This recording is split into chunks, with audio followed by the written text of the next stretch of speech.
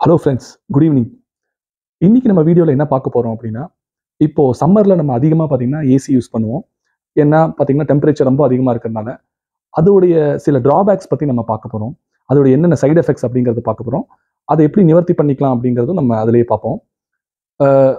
டோட்டலாக பார்த்தீங்கன்னா ஒரு எட்டு ட்ராபேக்ஸ் சொல்கிறாங்க ஃபஸ்ட்டு பார்த்தீங்கன்னா ட்ரை ஐஸ் ரொம்ப நேரம் வந்து நம்ம ஏசியில் இருக்கிறதுனால என்ன ஆகுதுன்னா கண்ணில் இருக்கக்கூடிய மாய்ஸ்சர் வந்து ஏசி அப்சார்ப் பண்ணிடுது. அதனால வந்து நம்மளுக்கு கண்ணில் இரிட்டேஷன் ஆகலாம். இதுக்கு என்ன பண்ணலாம் அப்படின்னா ஃப்ரீக்வெண்ட்டாக நம்ம போய் வாட்டரில் வந்து ஐயில் ஐயை வாஷ் பண்ணோம்னா அந்த ப்ராப்ளமை சரி பண்ணிக்கலாம்.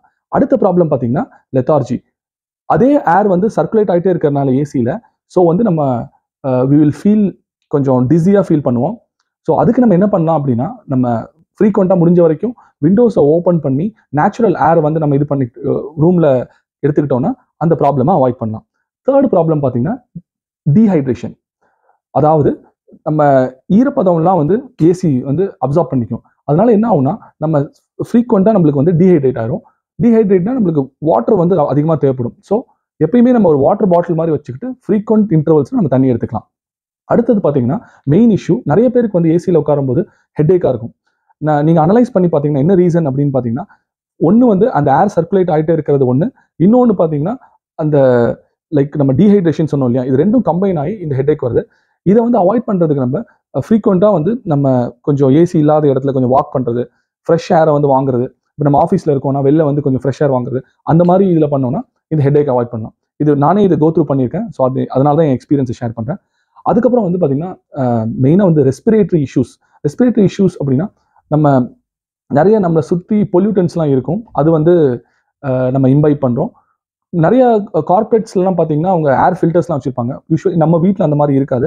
அதை அவாய்ட் பண்ணுறதுக்கு நம்ம என்ன பண்ணோம்னா ஏசியை வந்து ஃப்ரீக்வெண்ட்டாக வந்து சர்வீஸ் பண்ணுறது அதில் இருக்க பொல்யூட்டன்ஸ்லாம் வந்து அவாய்ட் பண்ணுறது அந்த மாதிரி பண்ணிக்கலாம்.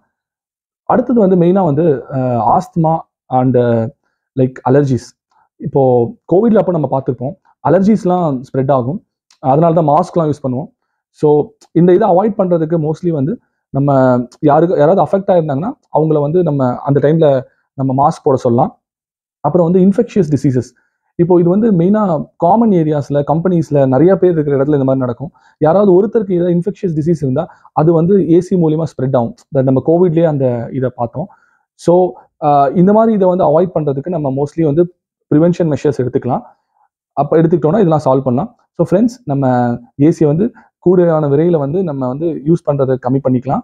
நேச்சுரல் வென்டிலேஷனை ப்ரமோட் பண்ணலாம். ஒரு ரூமில் பார்த்தீங்கன்னா ஒரு நூறு பர்சன்ட் வால்யூம் ஆஃப் ஏர் இருக்குன்னா டுவெண்ட்டி பர்சன்ட் நேச்சுரலாக தேவைப்படுது. அதுதான் வந்து ஒரு பில்டிங் கோட்ஸ் அப்படின்னு சொல்லுவாங்க. அதை நம்ம ஃபாலோ பண்ணி வீடு கட்டும் போதே வந்து நேச்சுரல் ஏர் எப்படி கொண்டு வரலாம் அப்படிங்கிறத வந்து ஆர்கிடெக்ட்ஸையும் இன்ஜினியர்ஸும் சொல்லி பண்ணுங்க friends thank you friends kindly share like subscribe our channel thank you